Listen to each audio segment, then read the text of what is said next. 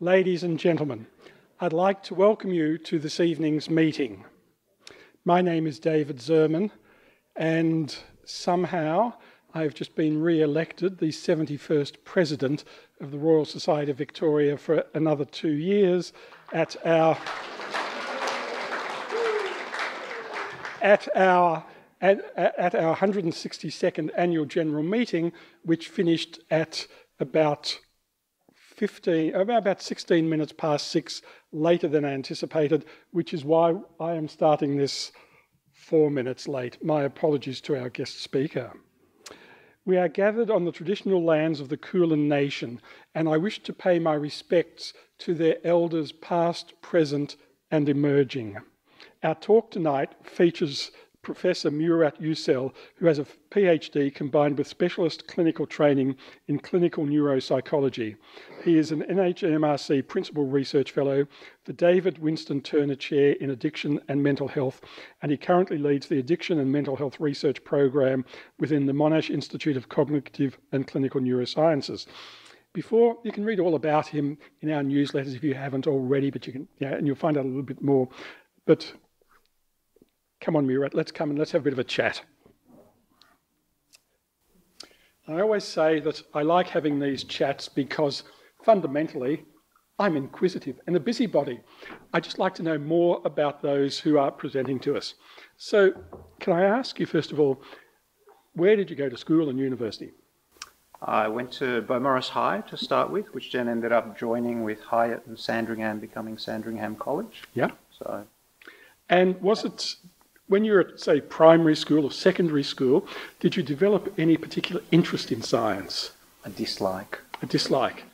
Oh, well, out of here, young man, out of here. Okay, now you can say. So, you had a dislike. How did that change? Uh, when I finished year 12, um, I didn't get the, the score that I was after because I wanted to do physiotherapy.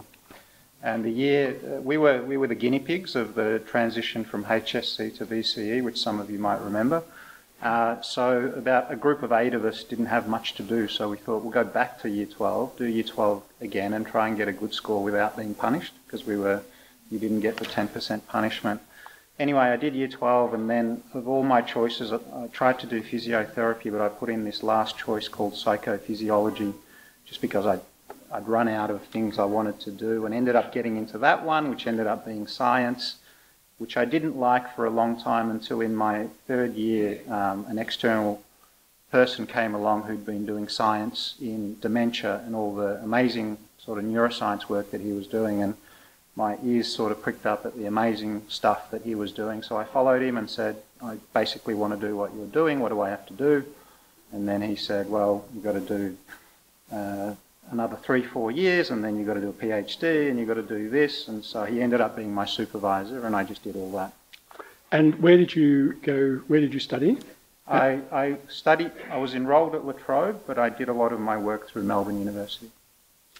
And was there, besides that being what I'll call an aha moment, was there anyone else or anything else that made you focus on the work that you're doing now? I guess um, the, the curiosity started with trying to understand the link between brain and behavior because sometimes there are some really, you know, behavior can look strange and then trying to understand that and relate that to the brain I just found fascinating. But as time went on and I got more and more involved in mental health, I saw that in the area of addiction and, uh, and sort of compulsive behavior, they're really, it's such an important problem and you see it everywhere. And I just felt like maybe science can really actually have a contribution here. Fantastic. Ladies and gentlemen, tonight Murat will be presenting Gamble, Drink, Consume, Repeat Why We Need Brain Park. Ladies and gentlemen, Murat. Thank you.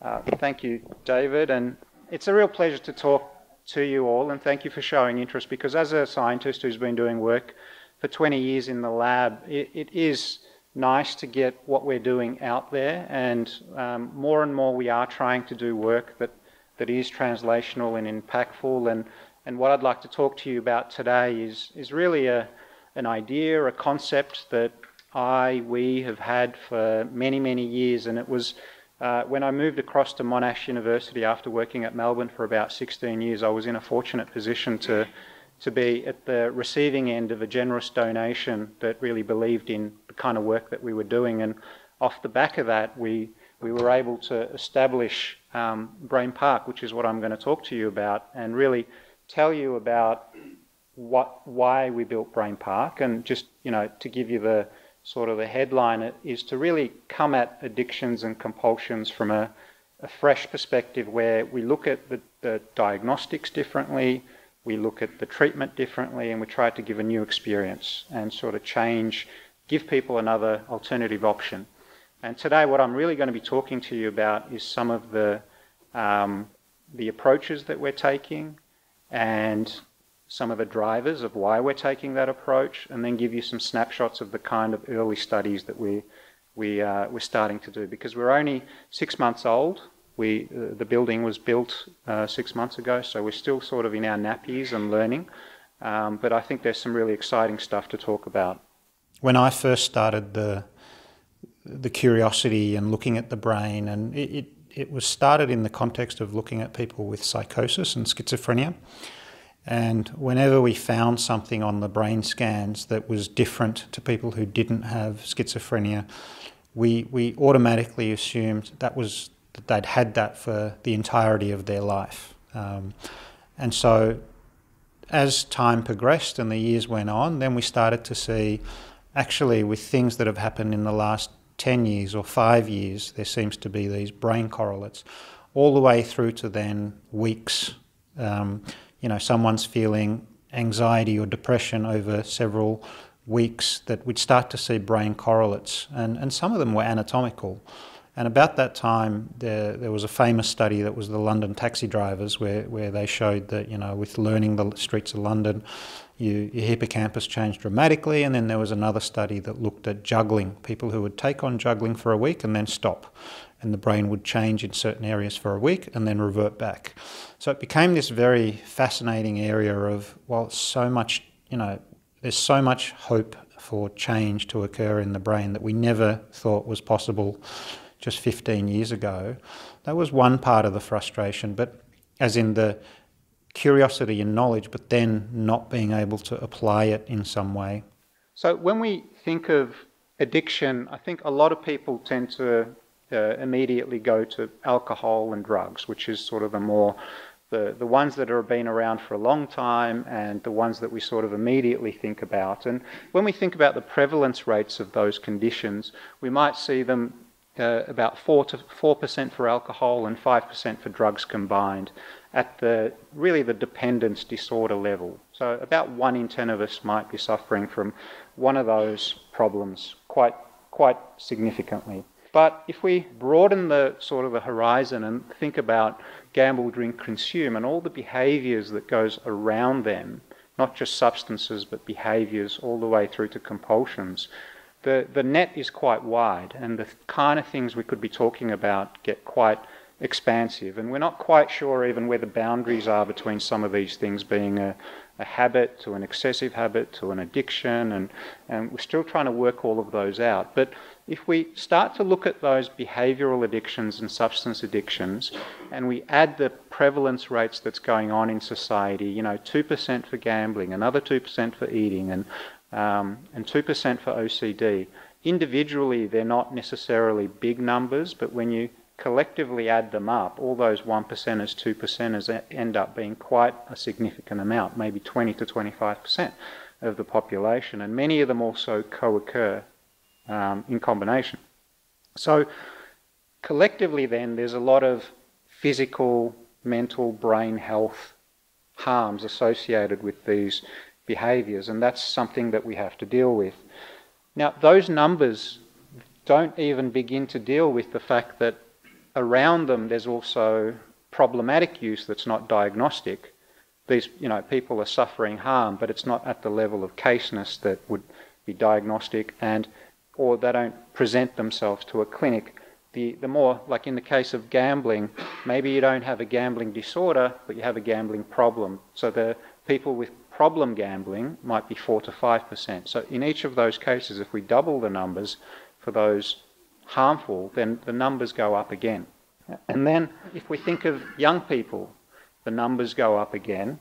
And if we think of Australians, typically the numbers go up again. So if you think of cannabis, we're big time users. Gambling, we're the leaders in the world in terms of gambling per capita, eating, and so on.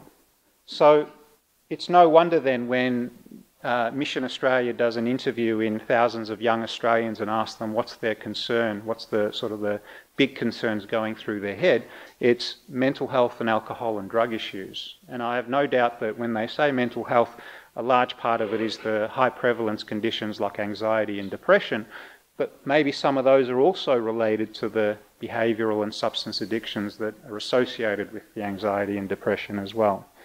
And sadly, a lot of the people that actually identify as needing help don't actually engage in help, and if they do, they don't tend to stick to it. And there's a lot of reasons for that. Part of it is perceived stigma, part of it is it's just too costly, it's not accessible, there's side effects, and so on. So people just don't engage with what's out there. So that's sort of the, the background problem, but I just want to now run you through a few reasons I think that we could be doing things differently and where some problems might lie.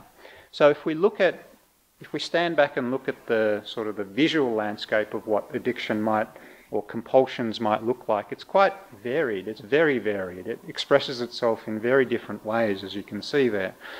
And the, the interesting thing, I think, is that, you know, people don't necessarily smoke a cigarette or a joint because they actually like that behavior.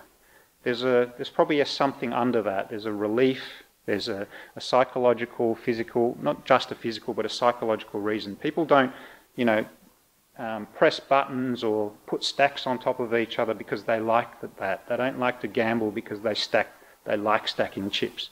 There's some other reason there. There's an underlying reason. And so we need to pay a bit more attention to that. Um, three people who gamble might have three very different reasons for doing it. Or three people who are in different boxes over there might have the same reason for doing what they do. And so we need to be better at understanding those things. And the final thing I'll say on that is if you stop, if you have an alcohol problem and you stop taking alcohol, the underlying problem may not go away. You just stop taking alcohol. You may have either continued to suffer the underlying sort of distress, or you may shift it into something else, another behavior, which doesn't get picked up. And unfortunately, that's sort of the way things run at the moment in terms of both research and clinically tends to be um, from our diagnostic approach and assessment approaches. Uh, you know, people come into either research or, or clinical services you, are assessed for whether you have a, uh, an alcohol issue, you go to an alcohol research centre or an alcohol treatment, or if you have gambling, that's different. Um, it's very much on the behavioural level that you get sort of triaged. And there's not enough attention on this sort of drivers of what's symptomatic up there. The second problem, I think, is that while our current services and approaches are, are very helpful and everyone's doing the best they can. I think we, we sort of sometimes forget that maybe, particularly for the younger generation, that um, the environments that we and the way we try to engage them is not necessarily engaging or empowering. It tends to be problem oriented, it tends to be disempowering and uninspiring in terms of the kind of ways we try to interact with them. And finally, as a, many scientists, I think, in the room trying to get translate your work, you know, the, the statistics say that it takes up to 17 years to, for a finding to hit actual translational value. And getting that work out there is very hard work. And I, I understand why uh, it, it's hard partly because of the system as well. Because if you get a fellowship for three to five years, trying to do translational work is quite hard. It takes longer, it needs more money. Um, it's just, you're almost shooting yourself in the foot in terms of academic outcomes if you want to do the translational work. So it, it's a hard choice to make if you want to stay in research. as, as well as many other, you know, systematic things that make it hard to translate things as well. So we need a paradigm shift there as well.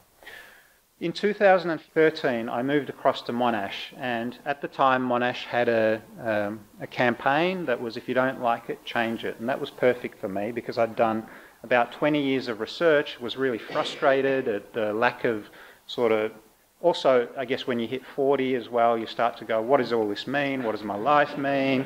What's the purpose of all of this? And so, combined with personal and professional, when you're asking those questions, and I was sort of unhappy with, yeah, I'd done great in terms of academic outcomes, but I wasn't really able to say I'm, you know, I'm clinically trained, but I wasn't able to shift anything across. So that frustration fitted well with this. And then um, uh, two years after arriving at Monash and really trying to generate this program of interventional research, so I made a shift from more fundamental to interventional research. Then um, uh, David Winston Turner, who'd passed away the year before, had left a will in the area of uh, compulsions and trying to really drive research capacity. And I was on the fortunate end of receiving some of that, and so was able to begin a much more longer view on what impactful research could look like and um, sort of totally just ignored the academic outcomes for a while and just started to say, what's the impact I'm looking for? And it was an amazing opportunity. So, with that in mind, we started a, a research program and we also convinced our, uh, our donors that if we were going to really get the, the best value out of the investment they'd done. We needed a purpose built facility to be able to really. Uh, the problem of translation is, you know, a lot of places that where we want to do interventional work aren't built for science. They're not built in a way to keep and maintain people, and uh, while being engaging, also rigorous in terms of clinical trials. So. We convinced them that we, we needed to build a facility that was going to be inspirational and, and like nothing that existed. So we got, after a long um, sort of battle, we, we found some perfect architects who really design buildings for human experience. Our, our initial experience with university architects was not ideal. Um, after a few months of trying to sort of paint a vision and coming back with very, very stereotypical, boring kind of four walls, we found these guys and they were amazing. So what we wanted was sort of, um, they understood the concepts we wanted to go with. And so then began the, a 12 month process where the, the final product was Brain Park. And it, it's one of those experiences where what was in our head was exactly translated onto, you know, into the real world, which was just a, a fantastic outcome. So we ended up with, you know, what we really wanted was after running focus groups with people, they, they kept telling us, look, we want nature. We don't want a, a, a dirty sort of coffee table and a reception where it's it's sort of you're the problem, and we want a more communal feel, and we want light and quality, and so we, we tried to build all that in. So we, we built yoga and meditation studios like you might find in the community. A spin room with an interactive spin room with a, an amazing screen display for feedback of how you're going in terms of your physiology and other things as well. Exercise rooms, consult rooms, virtual reality, um, all of these things you might see in the community, but around it is really hardcore scientific uh, equipment and tools, including some of the best scanners in the world, an exercise physiology room, and so on. So it was quite a unique thing that we've built. So going back to this picture, we wanted to really make sure that when people engage, you know, the picture looks different. The experience is different of being uh, involved in the work that we would carry out in Brain Park. And, and, I guess when you think of a young person and you present them with options, say, okay, you know, you've got this option or this option, I think, you know, I know what they would choose, but we need to build the evidence base here before we can make arguments that it's actually going to help them. I think the other thing is that it's easy to say, let's be solution oriented and bring science into all of what we do, but it's hard to do unless you have the kind of the facilities and the support that, that we were lucky enough to have. So just describe what we were, uh, what Brain Park is. It's basically giving people mental experiences and physical experiences across lifestyle and technology capabilities. all of which are built around the idea that the brain is plastic and experiences, particularly high intensity experiences and high, high frequency experiences, do change the brain. And how can we use these to really um, change the brain in a, a, good therapeutic way? It's built on so, the fact that we know that the habit, we know a lot now about the habit system, the, how it works in the brain, how we can sort of understand it, and what changes happen in the brain when things go from habits to addictions. We know the brain, you know, if you've read that book, there's some fascinating stories of the brain that changes itself as a result of experience. Technology is just, you know, we have to utilize and leverage technology in a good way. Um, and that everything we do does matter. The way we eat, our activities, etc. All of these things matter, and so they're foundations really of BrainPark. And we, we, we ask questions like how does lifestyle and technology facilitate the cycle in and out of compulsions? How can people measure and monitor their cognitive and brain fitness? That's an important one because, you know, unlike your weight or other, you know, blood pressure, etc., it's really hard to measure cognitive, brain, mental fitness. And if you're not measuring it, if you don't have a sort of a concrete indicator of where you're at, you tend to not think about it or want to change it. Um, so it's an important one. How, and how can we make it easier for people to have greater mental and cognitive fitness and brain fitness? Finally, once we learn about these and find out what works for who and why, lot, the reason we chose all of these is because they are empowering techniques. You know, you put effort in, and then you can you, you can do an eight to twelve week physical or a mental program with us, but then you'll take that away, the learnings and the effects, and uh, uh, for the rest of your life. And it's empowering. You don't have to rely on anyone else. You can. The cost is low, and the hopefully the therapeutic effects are high. They're scalable. Again, the cost is low even things like virtual reality, the, the consumer market is now more, it's much more affordable now. And I imagine in a few years, with the amount of investment that's going on, that it will be available for, you know, as part of any entertainment system. It's going to it's gonna be absolutely um, everywhere in the coming years.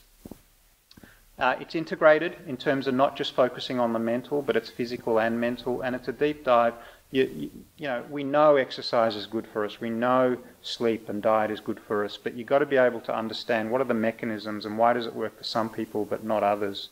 Um, and that's what we do. We're able to go in with all our tools and really understand it.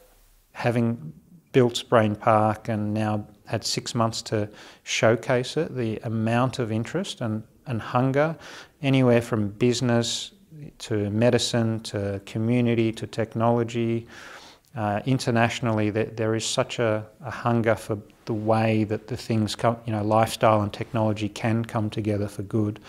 It's um, I'm, I'm sort of inspired to keep going. So I just want to now just talk about some of the specific things that we're doing that we think will be useful going forward in this field. The first thing is, as, as I mentioned to you, that you know, at the moment there's a lot of focus on the external symptoms, the behaviours, and there needs to be a greater focus on the underlying, um, on the underlying drivers of these behaviours, not on the surface symptoms. Well, an analogy might be if you think of cars, um, and let's say there are several cars over here, and if you open the hood up and look under it, and if you're someone that know, you know understands cars, there's probably a bunch of, if something goes wrong with these cars, even though they look very different, there's probably a, core number of structural core elements in a car, you know, foundational things and some functional things that probably is really important to look at and maintain for good car health, if you like. Um, we want to do that.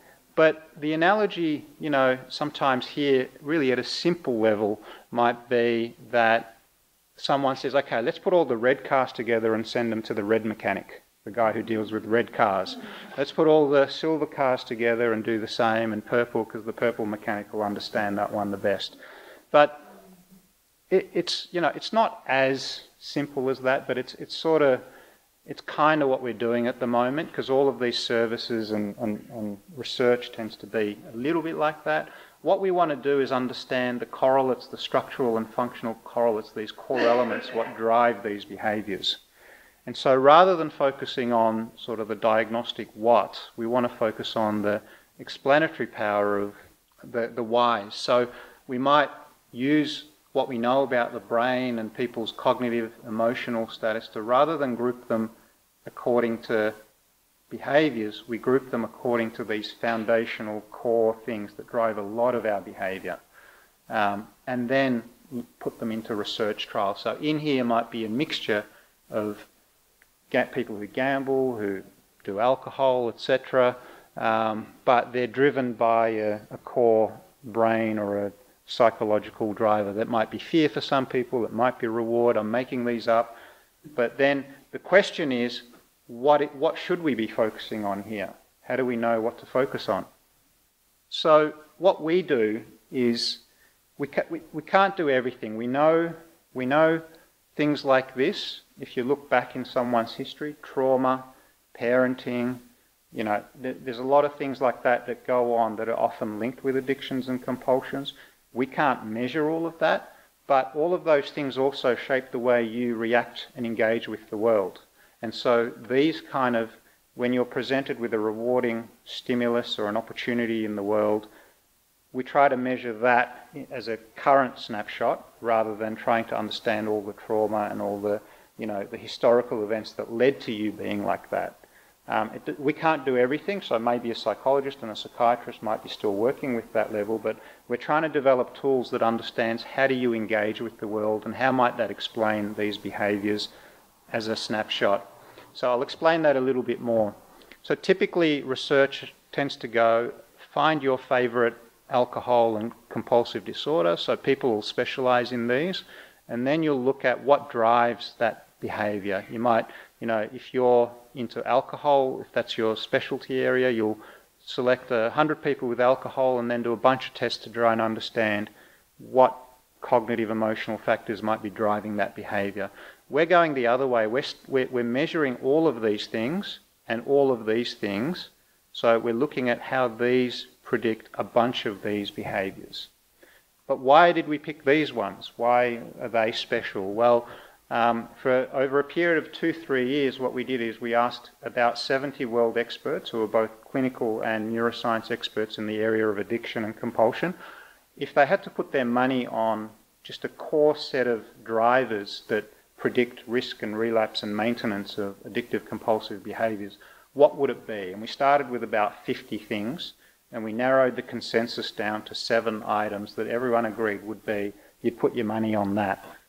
So a lot of them are reward emotion based, some of them are more cognitive, it's a mixture of things. But it's fine to then know what areas we should be looking at, but what about the tests? Do they exist? Well, the kind of tests that we tend to do uh, in neuropsychology, a lot of them were paper and pencil, and they've progressed into sort of tablet based tests with squares and triangles that tackle uh, uh, your thinking and try to delineate it a lot of them don't involve reward and emotional. In fact, you try to minimize them. You don't. You try to exclude a lot of them. Unfortunately, that means you're not tapping into the relevant things that are relevant to a lot of mental health and addictive uh, behaviors and what drives them. So they're not always very useful. The other thing is that these, some of these are very costly. They can be thousands of dollars, and they're not targeted at the problem that we're wanting to do, and people can't access them. Meanwhile, gaming has developed phenomenally, you know, going from Pong to Space Invaders all the way through to amazingly rich environments and games.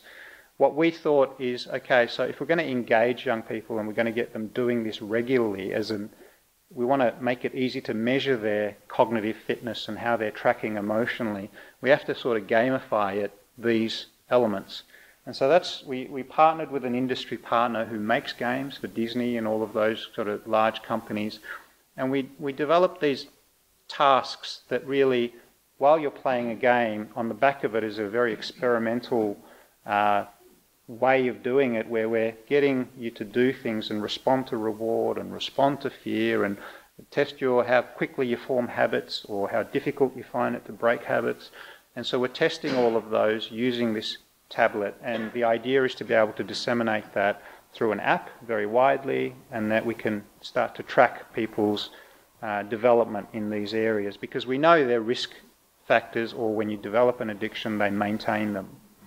So we have a few people really spearheading that part of our research program. The, the other thing we're doing then is using these scalable, accessible, empowering lifestyle and technology interventions, trying to understand well, we know exercise is good for us, but ha- what part of these does it hit? We, there's good evidence that exercise changes dopamine, which changes reward, or it reduces stress, um, but we don't quite know how to target specific things. And that's our, what we're going to do is look at all of these interventions and various ways of, you know, meditation is many things, exercise is many things, it's not one thing. And you can look at those many things and then try and target these things. And I'll talk to you a little bit about that. And Rebecca's really driving that part of our interventions research program.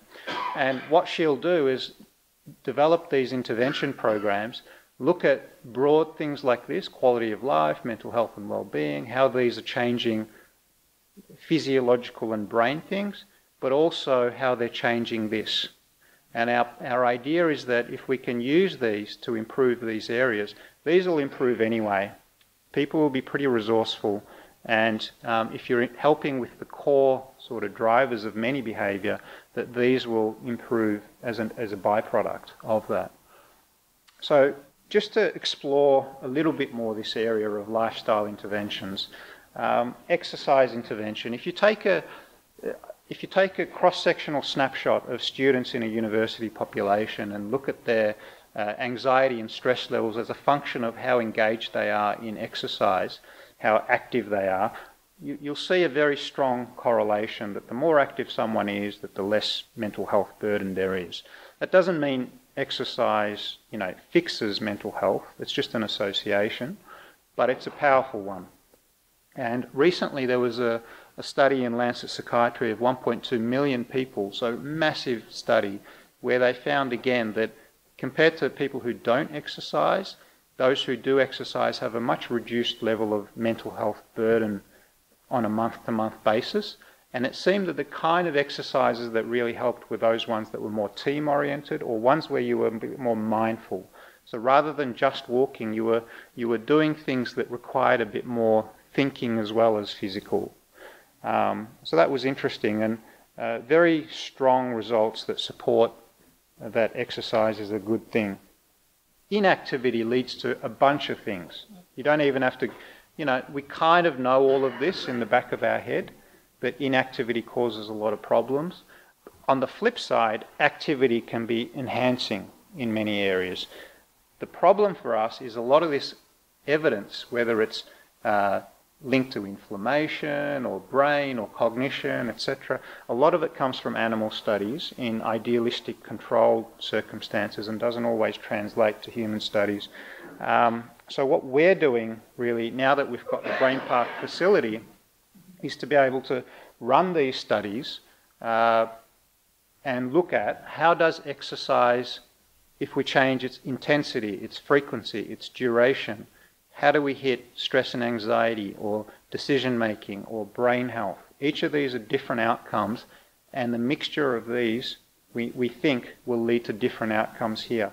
For example, high intensity interval training, it, where you really get the lactate system turning over, seems to be more beneficial for brain health, but it does cause a bit of stress, whereas low intensity activity is better for stress, and, but not for your brain health. And so, depending on what outcome you want, we might be able to target a particular exercise prescription. But that's not all. Um, we know that generally exercise opens the brain up, makes it a bit more plastic and malleable to, to new experiences. So it, imagine, you know, if you're doing a, any kind of intervention, psychological intervention or taking medication, etc., it seems that if you do exercise, you're you, you might be more likely to benefit from that treatment because exercise is just opening up the brain circuits and loosening up and getting good juices and enabling a bit of change to happen that doesn't happen in the absence of exercise. But what we think we can do is maybe combine lifestyle and technology for even greater effect. So maybe combining exercise with uh, mindfulness and even a third technology. So imagine someone who has a gambling problem. They might, what we might do is get them to exercise and then use virtual reality to put them, put them in a virtual casino where they're experiencing the urges and the, the problems that they deal with, and then getting them to exercise their mindfulness techniques to surf those urges. And exercise has a beneficial effect to really maximize that ability. Now, it's a big ask. We might not be able to get one individual to commit to all of those things, but it's also possible that within an hour you could do some really clever things where you could do all of that. I think for people who are on medication, maybe they can uh, take on these, you know, novel assessments and interventions in the hope of reducing their medication, maybe even coming off. I mean, for some people, clearly it's it's necessary, and you're not going to fix all the problems. I think the important thing is to just give people another option, one that they will engage with if it's not the current treatments, or one that they can engage with if it's not accessible or um, if it's not, you know, too costly for them or just accessible in terms of geographic. In in in a preventative way, I think there's a lot of hope that if schools and businesses and you know can get on board with not having the intense craziness that currently exists, but having these timeouts as part of work or around work where we do understand how you can do the physical, uh, do the one hour of something that's good for you physically, mentally, socially, etc., as a real preventative for lots of these bad outcomes happening. So I, I think there's a lot of hope there, and people are recognizing that that's more and more necessary and it actually gets the best out of their employees or their students and so on. So, if we take the concept of gambling a little bit further, we know that for most people, gambling is not a problem. But as you develop and it gets more severe, then there are these machine features that typically don't mean anything to most of us the sounds, uh, the, the design features like um, could be a near miss. I don't know if some of you are familiar with these features, but for most punters, it doesn't make any difference, those things. But as you become more and more problematic gambler, they really start to, you hear them more, you see them more, they affect you more. Uh, because we have vulnerabilities, we have cognitive biases, we have brain systems that are geared to developing habits, and these features tend to push you toward habits. And the reason I say all of that is because these are machine environmental effects, these are individual effects, and it's really hard to do science where you can understand individual environment machine interactions. If you try to really do this in a lab and get a lot of internal validity, you sacrifice external validity. You don't get a good environmental feel, it's not, it doesn't feel ecological, and you can't send someone into a casino strapped with all scientific equipment, so you can't, you can't win. And that's where virtual reality is a real um, amazing technology because it, it really does feel real. It's engaging and it's safe, and you can send some, you're measuring and controlling everything. So let's take that a bit further. So this is maybe a, a typical scene. And what we see is that if we split up the agent, the, the machine, with the environment, your friends and the sounds and smells, with the, the, the individual, what we're doing, and this is Adrian Carter, he heads our neuroscience and ethics and society part of the program, is we're looking at, first of all, putting the individual into a, a virtual casino so that they really start to get into those emotional zones that drive their behavior. Then what we can do, and these are snapshots from our virtual casino, is we can look at their behaviour. We can see if these policy regulation posters, they could be pro or anti, you know, uh, what are you gambling with? How much have you lost? There's always these government sort of things, or there's advertisements for pro gambling. We could look at the effect of those on gambling. Um, these are some examples. Or we could look at pop ups that come up, information that pops up on the screen and whether they're actually helpful or not. So just to give you an example of one, so again, this is a snapshot from our virtual casino. The sound is off on this one, um, but so in the virtual casino, this person's playing. In this condition, so they won. And then in the next condition, they'll get a miss here. So that's a near miss. Uh, sorry, that's a win.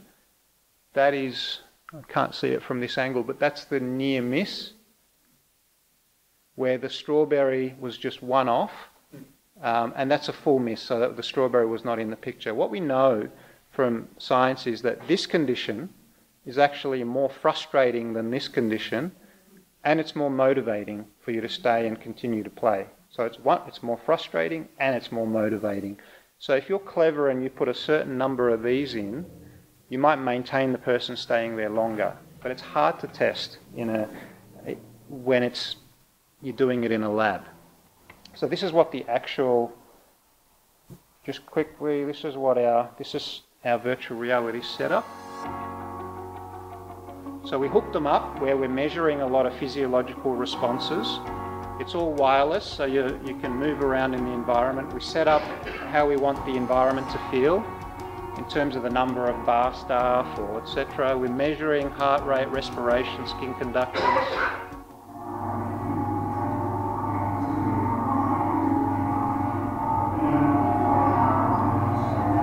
We've got a, a bar and then a the electronic gaming area and a sports a sports betting area. We haven't exploited this area yet to do some sports betting studies. But what we have done is electronic gaming machines. You can pick any machine, you sit down and then you start playing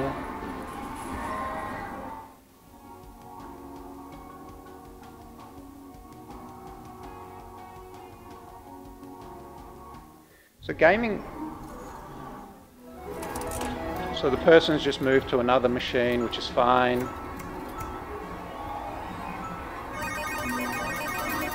Get the idea.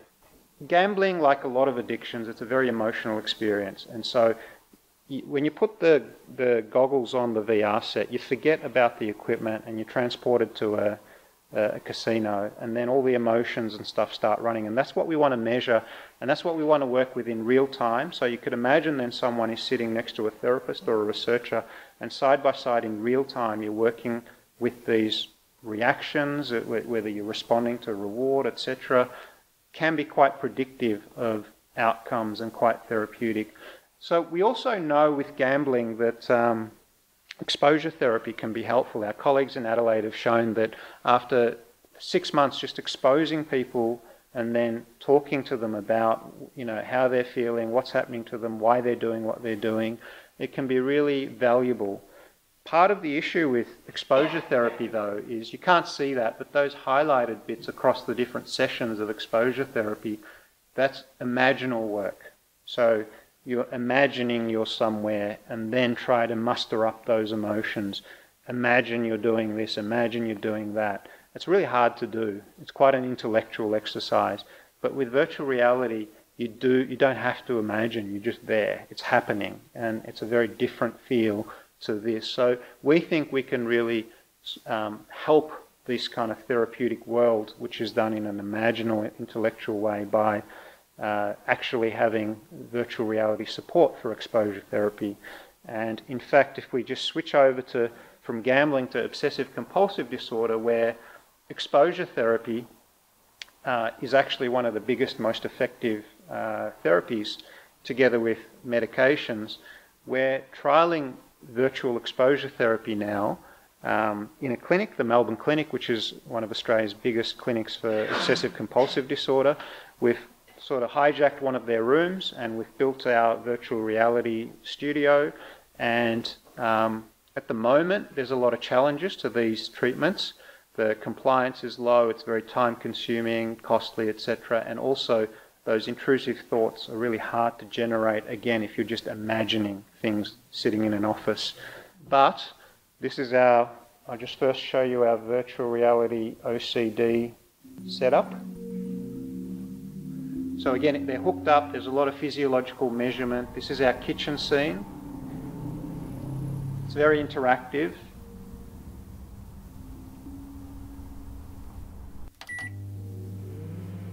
What we do is we give the person tasks. So they'll get a mobile phone and the mobile phone will buzz and they'll have an instruction.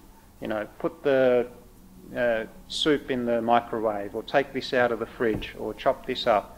And people with obsessive compulsive disorder, they even hate touching switches. It makes it creates a lot of anxiety for them. And so in this virtual world, it's safe world, but it still feels realistic. Um, this bathroom is built on a bathroom that is essentially identical to the one in the Melbourne Clinic. So we're comparing virtual to physical um, experiences and therapeutics in the Melbourne Clinic. So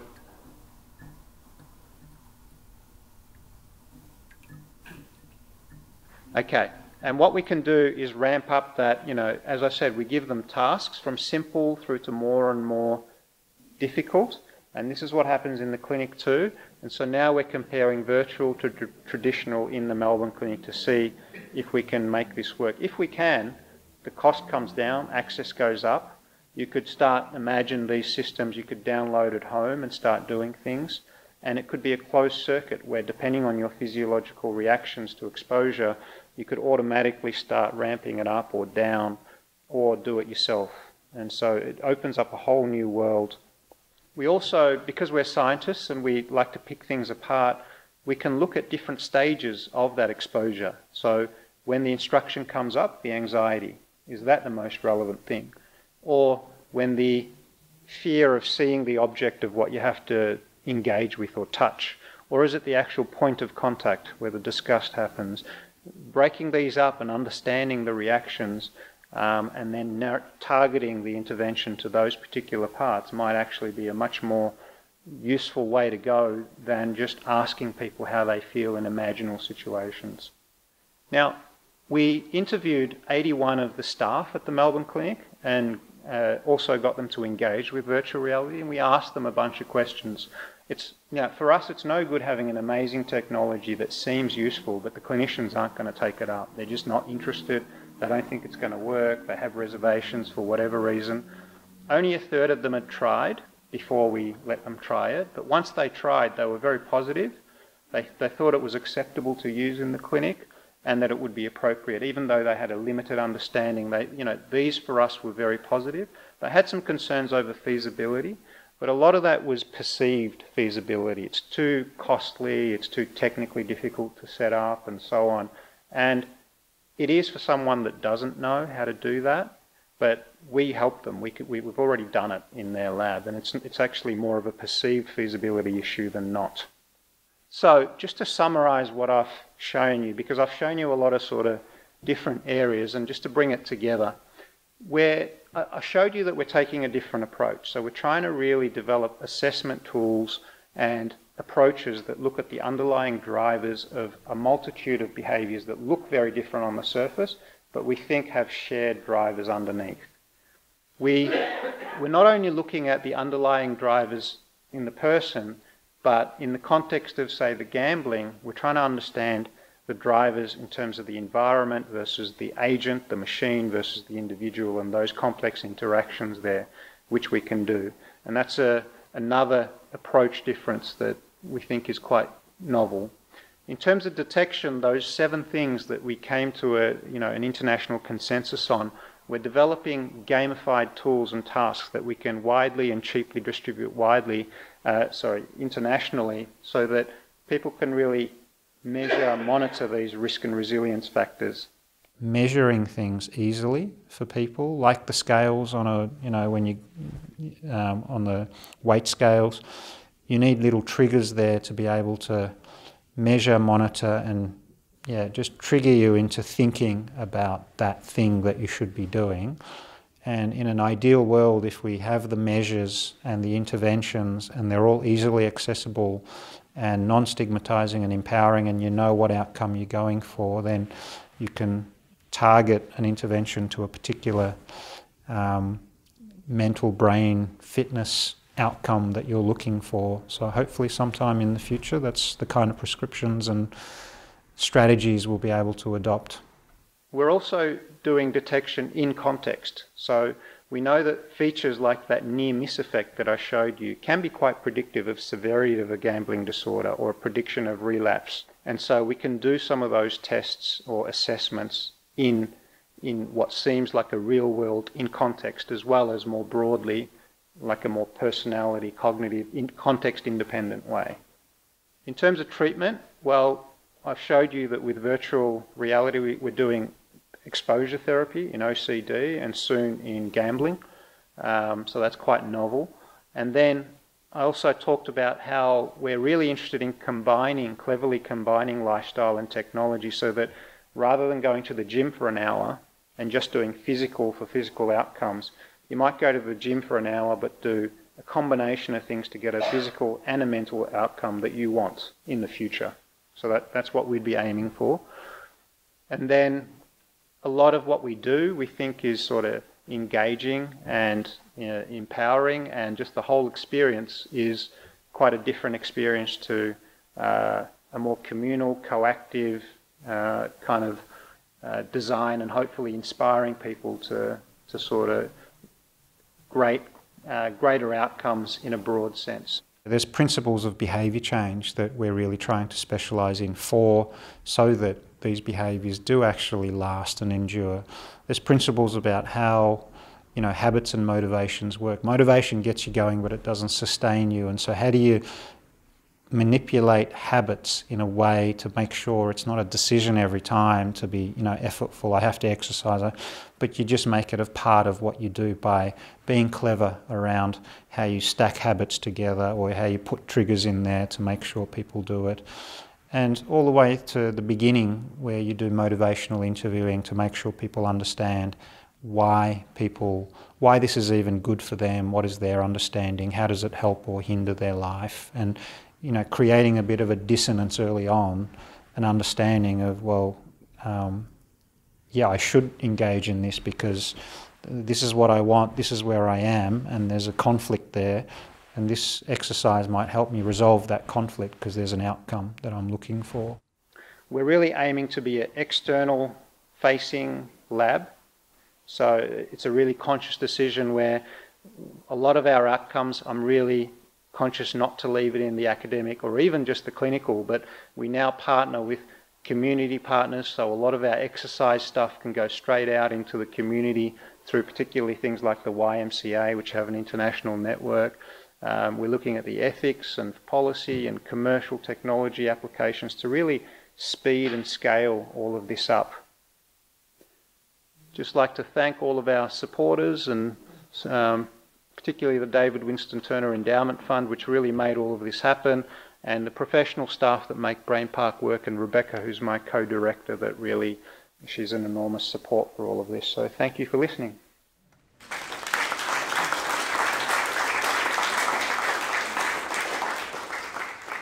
None of this would have been possible if it wasn't for the philanthropic gift of the David Winston Endowment Fund. Um, that has really enabled us to go for a much longer term, impactful vision. And there's something about philanthropy when someone digs into their pocket and gives you money versus getting it through the usual sort of fellowship academic themes that makes you much more accountable and responsible and drive you to um, meaningful outcomes. And I think it's really, I just want to note that, and um, it's been very valuable to have that support. And obviously, Monash University has also come on board. So we're going to have some questions in a moment, but I would use my newly elected president's prerogative to ask the first question. Um, I come from a background of working in the not-for-profit sector in fundraising not-for-profit leadership and management. So I'm particularly interested um, how the relationship started with the David Winston Turner Fund and how that has continued. Mm.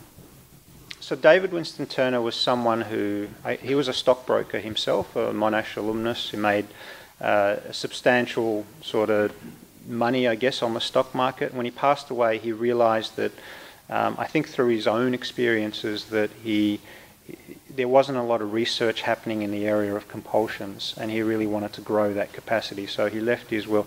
Um, and we got engaged because the, the trust had approached the university, and when they first approached the university, there wasn't the right people or the program. And when I got there, they really saw a, a, a partnership to really be able to grow this area.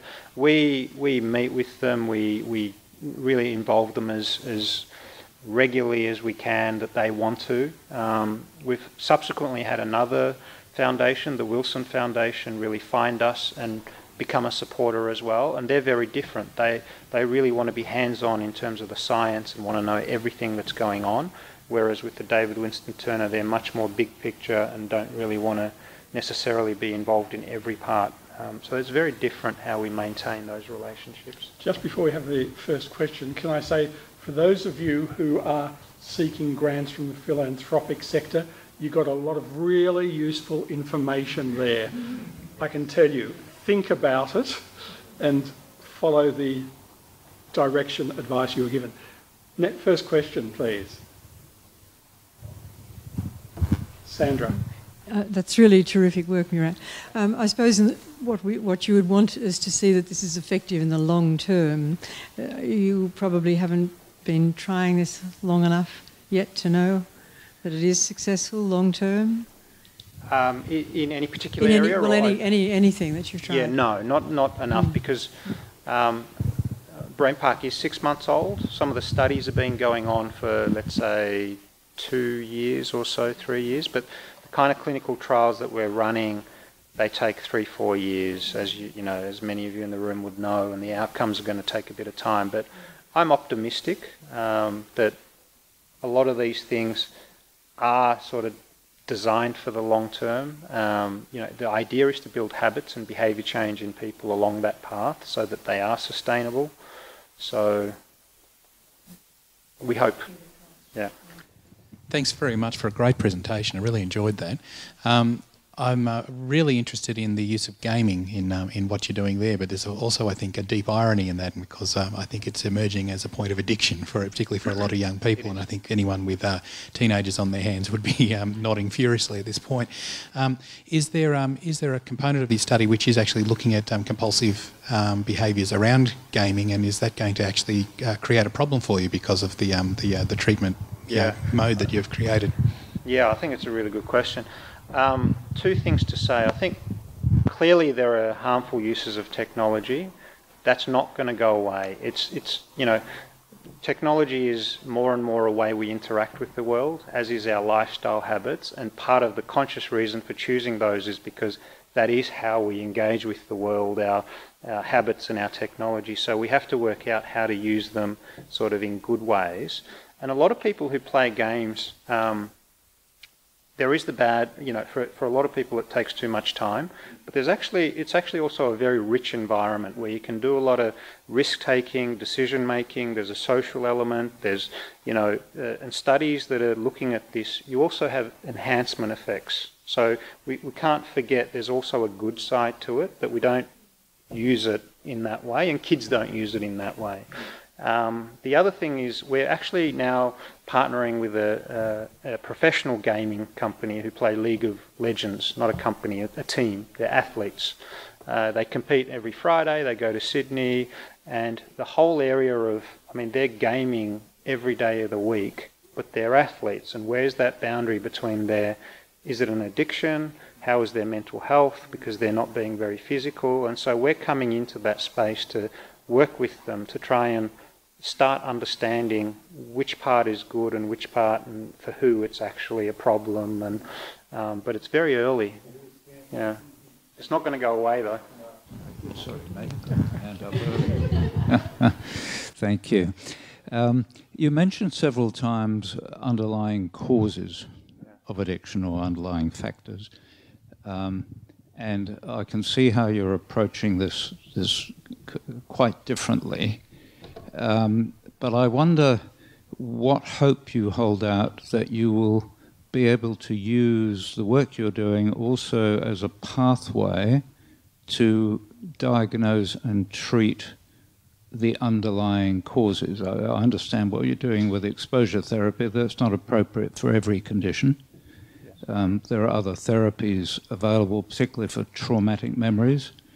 Um, and I, I, just wonder, you mentioned trauma earlier on, how many of that underlies a lot of these conditions, and, and if that were approached and fixed as part of this, uh, how much more beneficial it might be. Yeah, um, I just try and.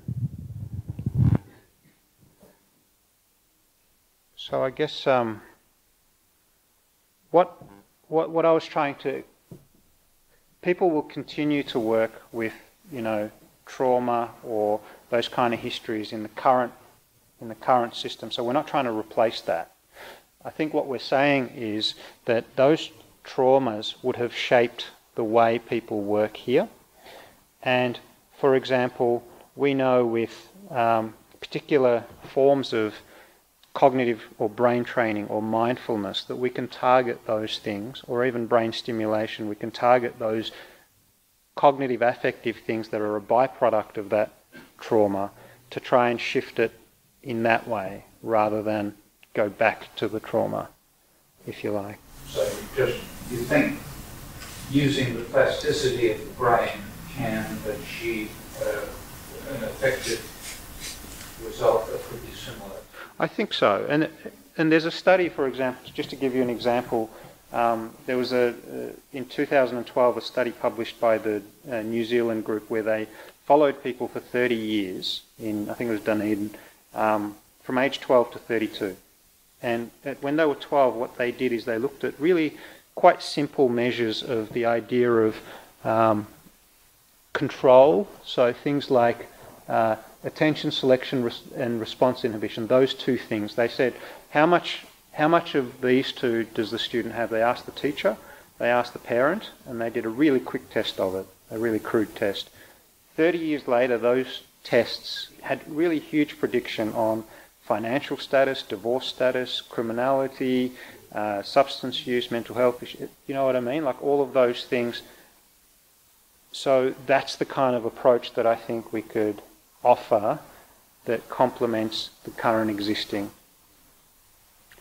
Peter. Oh, I was going to say, if it is, is, is golf a uh, feature? Golf. Yeah, look, at exercise often people talk about, uh, you know, is that an addiction? Because people, um, or, uh, you know, there's lots of areas where it's under debate. And I mean, I, I personally don't think golf is, unless it's causing you harm. Um, it may be if you're, if you're always there. but the boundaries with a lot of these things are, are not clear. Um, I imagine for, you know, uh, for example, the internet uh, and gaming, the World Health Organization recently recognized gaming as a, uh, an addiction, but that also has a lot of a lot of people also disagreed because for a lot of people it's not an addiction and um, it's really hard to sort of be clear about the definitions coffee, nicotine, etc. We don't want to be pathologizing things unless there's a, a clear process that underlies them that typically, you know, in my mind is more of a psychological as well as a physiological that is really um, problematic, not just because, you know, you're sp- spending time playing golf is not a problem. It's why is that happening regularly that we need to. Okay, with the questions, we're going to go this section, that section, this section, and finish with Andy. Um, hi, I'm Teresa Mitchell. Um, at the moment, there's actually a Royal Commission into mental health that's happening around Victoria. Um, we've got it coming to Gippsland um, on the 22nd of May, so I'm part of that um, stakeholder engagement. Uh, so it's looking, um, I suppose, what's happening on the ground um, and trying to get um, some, I suppose, data and, and, and how it's affecting communities. Um, I suppose what I want to know is how are you're relating to the environmental effects, like um, the debt of Australia and financial um, effects. Uh, also, um, there's homelessness. There's a lot of older women now that have been affected by that, and the stresses and everything that's. And there's a lot of rise in mental health in that area. Uh, and I suppose it's also the shift around um, youth unemployment and what's happening to that. So, are you using that data to actually, um, as part of that research as well? Not directly. I mean, I think you make a lot of good points about these more life environmental things. Um, I mean, in the context of we're trying to have some influence, in, like for example with gambling, the distribution of uh, pokies really is a big problem in the way that it invites problems to do with addiction. And we would like to use our findings in some of these virtual reality, the way the, the machines operate and so on, to, to educate and change policy and the way that those things are distributed and some of the features in there. Uh, that broadly is environmental. But when you talk about homelessness and debt and financial problems, I'm actually giving a talk uh, a couple of weeks later at the Financial Counselling Australia conference because addiction is very obviously a common problem there, um, and they're interested in these things. And these, because they're low cost, high access, low stigma kind of interventions, if they work, I think at least gives people a bit more resilience and, and sort of buffer to not get into those conditions, and that's the way I would view them rather than expensive, sort of inaccessible type treatments. Jane in the last row.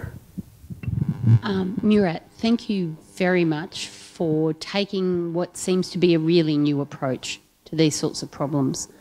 Um, it's been a very insightful presentation.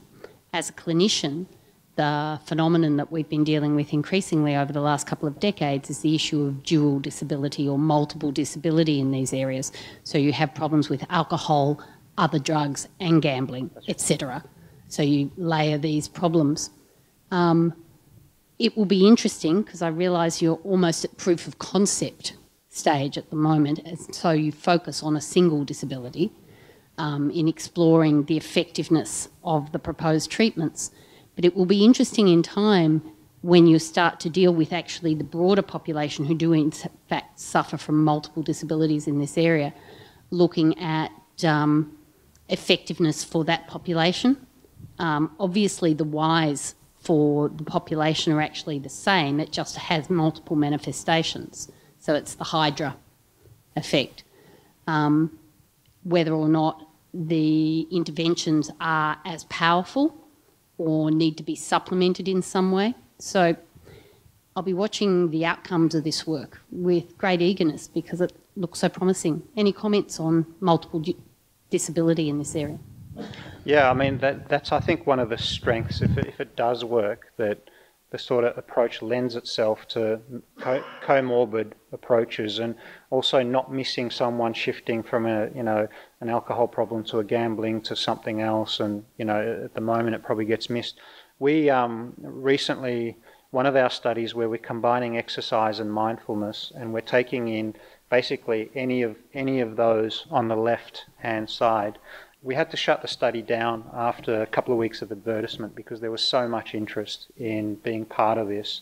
And so we're sort of halfway through that study and we're blind, so we don't quite, well, single blind, um, we don't know quite what's happening, but just at the level of engagement of when you broaden the network and you don't label it as addiction, you label it as are you struggling with these behaviors or these kind of uh, it's less of a label kind of approach it's a broader uh, the level of engagement we've had is amazing and i think that's already a win in terms of just engaging people in research and talking about it and, and so that's what i can say but i, I do agree it's still relatively uh, proof of concept. Okay we're coming slowly down the front. Anyone in the section here? Yes, there. Golf has already been mentioned. I've, I've been involved with sailing virtually all my life, teaching many, many young people to sail. Um, sailing involves physical activity, it's a mentally based thing, and so forth. I've, we've never seen any young person involved with sailing have any involvement with or serious problems with drugs, alcohol, and so on. This seems to be the preventative side, the other side to what, what you're talking about. Any comment? I, I, mean, I think that's what I'm supporting and suggesting that these um, these just the fact that there's a social element, I think, is probably protective. You know, the fact that there's uh, the stuff I was talking about in terms of someone who's physically and mentally active and got a social connection, etc. That's good for your brain health, your cognitive health. It's a resilience increase. Um, I think that there are some. There's a pretty incredible study. Uh, it was in Iceland. They had huge problems with alcohol and drugs there. It was bigger than um, a lot of countries, and they did a. Um, they changed the community structure. One of the bad things, they sort of brought a curfew in. They were quite strict in the way community worked, but the thing they really invested in was making it cheap or free for the community to engage in, whether it's sailing or gymnastics or this or that, all of those kind of community things that um, engage you physically and mentally in things. And there was, over a 10 year period, a, a massive drop off in the level of alcohol and drug use because people were more social, physical, mental, etc. Um, there's a guy called Milkman who did sort of looked across those studies. If you're interested in that study, uh, I uh, can't remember his first name, but Milkman Iceland. It's incredible, but it, I think it goes to show if it's done systematically and there's a real investment in it, that it can be quite protective.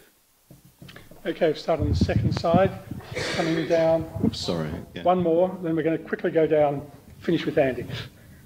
Hi there. I was just wondering, Murat, um, with sort of obsessive based addictions, how do you see religious fundamentalism or terrorism as Sorry, a form? Of, do you see re- religious fundamentalism or terrorism as a form of addiction?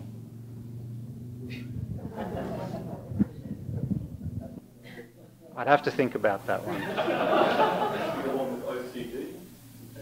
I mean, religiosity is a, a, common feature, isn't it, of um, OCD? But I, ha- I haven't. Or people who've gone from into I don't know. Okay, starting at the back on the right hand side for me. You one down there. Thank you.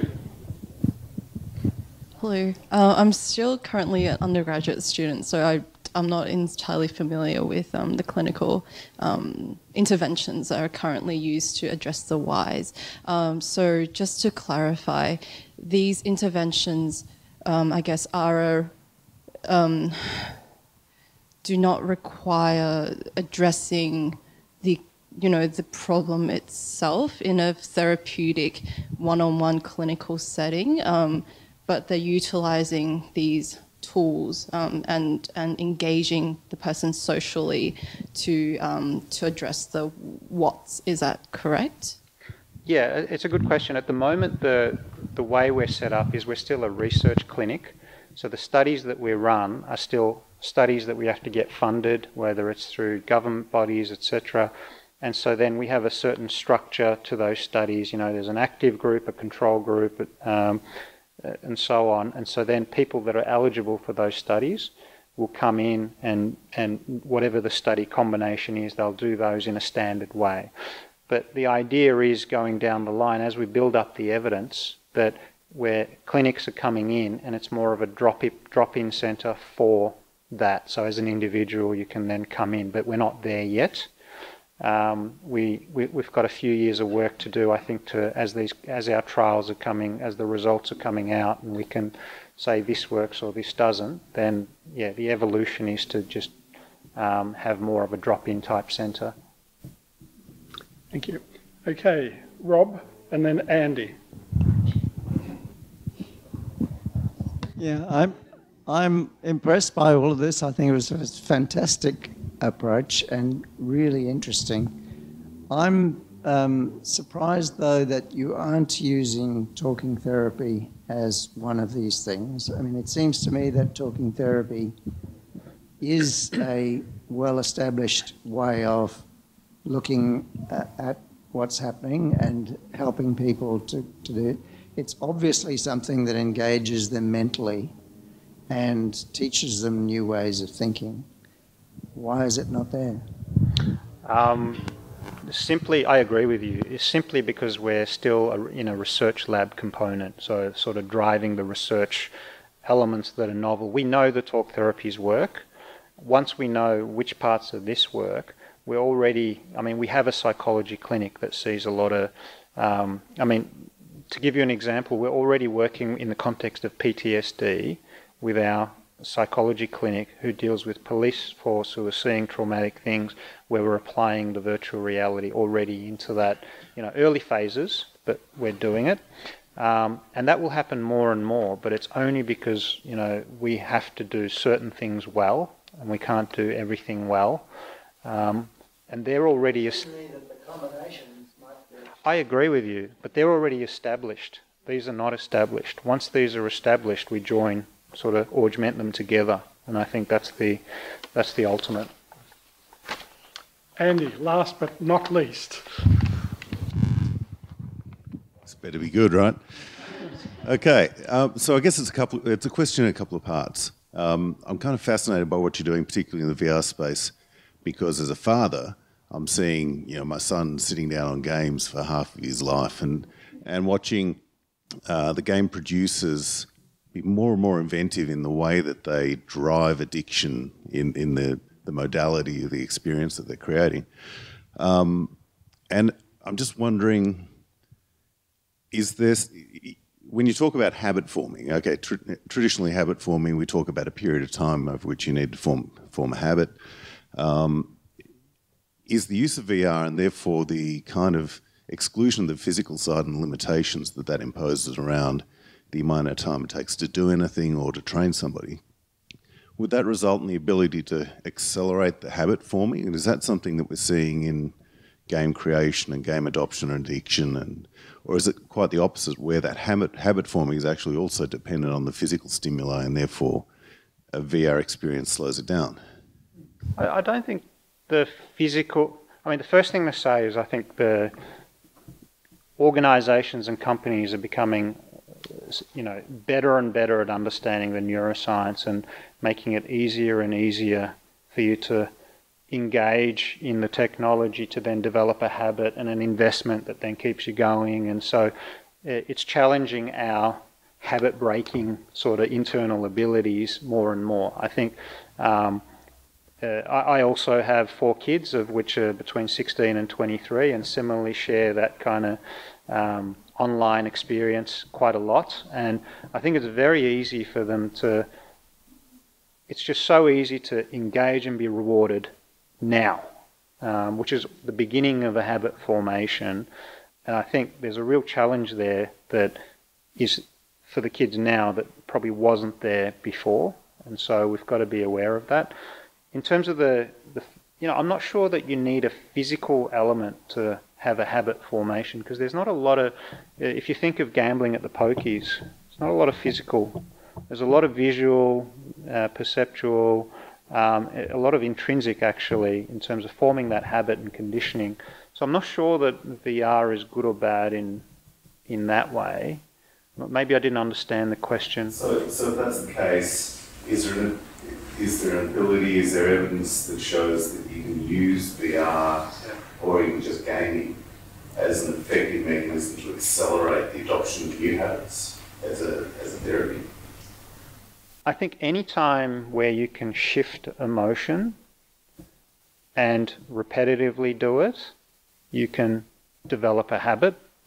And I think the fact that VR is something where you can induce an emotion and do things rap- repeatedly. And not only that, now you've got the ability to, you're measuring everything they're doing and you can feed back and adjust the environment, whether it's uh, a level of difficulty or mastery or um, inner space that you've embodied. There is a bit of physical as well, actually, but the fact that it's a continuous closed loop that you can do that, I think, has a massive potential to induce habits, good or bad. But we're not there. We're still in the early parts of that. I think it's already happened in, you know, whether it's Facebook or Snapchat, or there, there's so many little things in there that induce habits. We're only starting with virtual reality, but it's probably got a greater harm potential and a greater positive potential because of the fact that you're emotionally invested in the space and you embody it. Thank you very much. I've invited Professor Sandra Rees, who was just inducted as a Fellow of the Royal Society of Victoria, to move a vote of thanks to our speaker. You're a hard taskmaster. I was just going to sit there and enjoy it, but I did enjoy it. I enjoyed it very much indeed, and as one neuroscientist to another, another man who's found working on the brain absolutely fascinating. Uh, thank you very much. It's been wonderful to hear about Brain Park. I must admit I'd never heard about it before and we all know a lot more about it now. It was wonderful that Win- Brian Winston Turner gave had David sorry had the um, insight to give you the money. Um, and it was wonderful that you and your colleagues were able to put together this totally new concept. I think that's fantastic. You found the right architects, you put it all together, and that's really wonderful. I think changing people's behaviour is probably one of the hardest things we can ever do in the population. And, uh, and having a long term change to what, in what you're doing is obviously incredibly important. And keeping our brain in order is what we all want to do in all our life. So, congratulations. I think that's wonderful. And uh, good luck in all, all your endeavours. Thank you very much for speaking to us.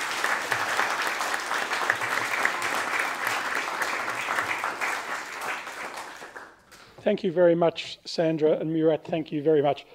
If I can just finish by saying, I'm glad you went to the school that you did and that you repeated HSC to VCE. And then when you filled out your form and your ninth or tenth priority, you didn't really know what it was. And then in your third year, you had an aha moment. Um, we and many other people are the beneficiaries of that trajectory of your educational journey. Thank you ever so much. Thank you very much, ladies and gentlemen.